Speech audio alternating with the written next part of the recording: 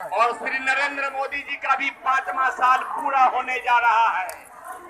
न्याय का साथ विकास और सबका साथ सबका साथ और सबका विकास का नारा का बिहार के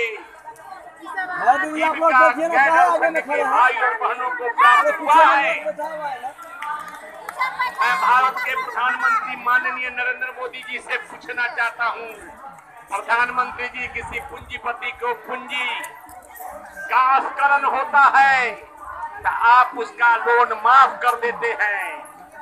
लेकिन ये जीविका संघ के भाई और बहन, कितना साल से आप काम कर रहे हैं? दस दस साल से, दस साल से बंधुआ मजदूर से भी बदतर जीवन व्यतीत कर रहा है।